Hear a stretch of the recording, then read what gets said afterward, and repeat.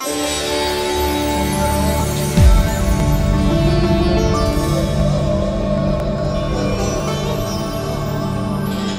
नमस्कार। मैं संजय पत्की, स्वर स्वामी एक और स्वर स्वामी दो ऑफिशियल इन दोनों चैनल के माध्यम से आपके समक्ष फिर एक बार हाजिर हुआ मैंने आपसे एक पिछले एपिसोड में बात की थी कि चार में चौबीस की जो श्रृंखला है, उसके अंतर्गत जो भी रागों के अंदाज से, जैसे हमने पधा निशा बिलावल थाट के राग के अंतर्गत हमने लिए थे। मैं ये तीन चार एपिसोड जो बना रहा हूँ, ये रागों के जो थाट है, उसमें जो सुर लगते हैं, क्योंकि आप बोलेंगे गुरु जी थाट गाए नहीं जाते। बिल्कुल मंजूर है, थाट गाए नहीं जाते। थाटों में से राग जो उत्पन्न होते हैं, उन्हीं को गाया जाता है। लेकिन जो थाटों में सुर होते हैं, उसमें से कुछ सुर उस राग में होते हैं। तो हमको पहले थाटों में जो सुर लगते हैं, उस सुर के ऊपर, ना कि राग के ऊपर ध्यान देना है। वही सुर रागों में लगते हैं।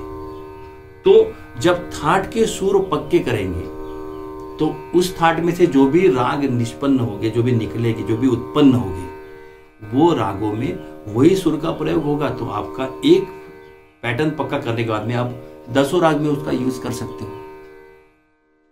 और करके किसी पर्टिकुलर राग को गाने के लिए उस रागों को नियमों की एक ज़रूरत होती है। थाटों का नियम जो है, हमको थाट पेश नहीं करना पड़ता, हमको आज सीखना है।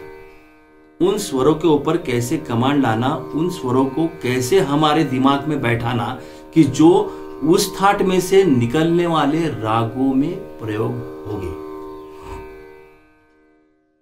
हम लोग रागों के पीछे लग जाते हैं। और फिर जैसे उदाहरण के तौर पे, खमाज थाट से तिलंग भी निकलता है, खमाज भी निकलता है, देश भी निकलता है, और बहुत से राग निकलते हैं। तो हम पर्टिकुलर देश का रियाज करेंगे तो करना तो है, लेकिन आगे चल के, पर खमाज ठाट की विशेषता क्या है? ये जो सब राग खमाज ठाट से उत्पन्न हो रहे तो इसमें खमाज का कुछ तो अंश होगा। जैसे मेरे को समझो, मुझे दस बेटे हैं तो मेरे दस बेटे का बाप अगर मैं हूँ तो ये मेरे दस बेटे कहलाएँगे, लेकिन कुछ ना कुछ खासियत उसमें अलग होगी। लेकिन बाप तो एक ही हो गया, वैसे थाट एक ही होगा। खमाश थाट के अंतर्गत जो भी राग आते हैं, उसमें खमाश का विशेषत्व रहेगा ही रहेगा। उसके बाद में जब रागों में फ़र्क करना है तो फिर कुछ ना कुछ उसके टर्म्स कंडीशन अलग अलग तरीके से वो निभाएँगे। लेकिन पहले वो थाट में कौन से सुर है, कौन सा कोमल है, कौन सा तीव्र है? क्योंकि थाट में तो सात सुरों की ज़रूरत होती है। उसमें से जो राग निकलेंगे, उसके बाद में उसमें दो ऑफ़, तीन ऑफ़ अवडव शाड़व ऐसे जो प्रकार चलेंगे तो उसमें जो आपको गाने के लिए सुविधा होनी चाहिए कि अच्छा ये तरीका इस राग में चलता है, इसलिए चार में चौबीस का जो एक का गैप, दो का गैप, तीन का गैप हम जो हिसाब सीख रहे हैं, उसी के लिए सीख रहे हैं। किसी ने मुझे पूछा कि गुरु जी, रागदारी सिखाओ। भैया, रागदारी बाद में आएगी। रागदारी यानी बंद पिंजरे में जो पोपट रहता है, तोता। आप विशारद हो गए, अलंकार हो गए। आप कभी भी एक घंटा स्टेज पे खुद का सिखा हुआ, खुद खुद का बनाया हुआ गा सकते हैं क्या? जो भी रटा रटाया वही गाना है। अब रटाए हुए जो गाते हैं, वो तो तोते कहलाते हैं। हमको किसी राग का एक चौकट लेके उसमें खुद का ब्रिलियंसी दिखना चाहिए। खुद की आलापी, खुद की तान, ये सब चीज़ें करते आनी चाहिए। वही चीज़ आपको सिखा रहा हूँ। रागों के पीछे आज मत लगिए। आपके जहन में, आपके दिमाग में, आपके गले में वो सुर की ऊंचाई, नीचाई कैसे बैठेगी जो कि रात में भी पलक झपक के आपको कहा है रे गनी सारे का पनी ये आना ही चाहिए। ये तो ढूंढ रहे वो प प प नी नी नी नी। ये चीज़ जब तक आपकी होती रहेगी तब तक आप सुरों पे कमांड आई, ऐसा बोल नहीं सकते। जब शुरू पे कमांड आती है, उसके बाद में, जैसे एक छोटा उदाहरण मैं आपको देता हूँ कि हम रोज सब्ज़ी बनाते हैं घर में। सिस्टम एक ही है। गैस जलाओ, कढ़ाई रखो, तेल दो, राई दो। लेकिन उसके पहले रॉ मटेरियल जमा करना पड़ता है। प्याज काट के रखना है, मिर्ची काट के रखना है जो तरकारी लाई है, जो भाजी लाई, उसको काट के रखना है, उसको धो के रखना है। ये सब रेडी रहने के बाद में आपको सिस्टम चलाना पड़ता है। एक, दो, तीन, चार, उसके बाद में वो सब्ज़ी पकती है। उसके बाद में पकती है तो अच्छी होती है या नहीं भी होती है, दोनों चीज़ होती है। यहाँ पे एक चीज़ ध्यान में रखने का है। सिस्टम रोज की वही रहेंगी, वही गैस वही सब वही सब वही सब। बदलाव आएगा भाजी के अंदर, तरकारी में। सब्ज़ी जो आएगी वो बदलती आएगी कभी गोभी आएगी, कभी आलू आएगी, कभी बैंगन आएगी। इसी तरीके का प्रयोग यहाँ पे करना। अच्छा ये उदाहरण मैं इसलिए दे रहा हूँ कि जो भी मेरे साधक लोग, जो भी मेरे स्टूडेंट देख रहे हैं इसको, उसमें कुछ महिलाएँ भी हैं तो मैं उदाहरण महिलाओं को देता हूँ। ये महिलाओं को ये उदाहरण इसलिए दे रहा हूँ क्योंकि रोज का उनका काम है। चेंज कहाँ होता है?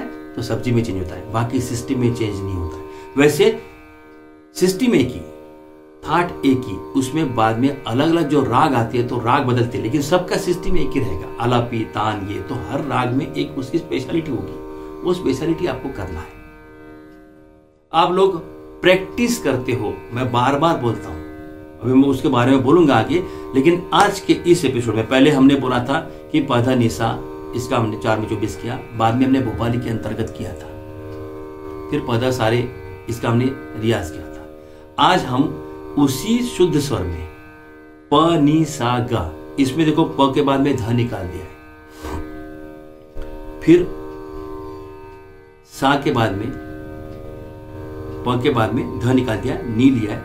फिर सा लिया है, फिर सा के बाद में रे निकाल दिया है। ग है। तो चार सुर कैसे आ गए? प, नी, सा, ग। जिसका भी चार में चौबीस होता है।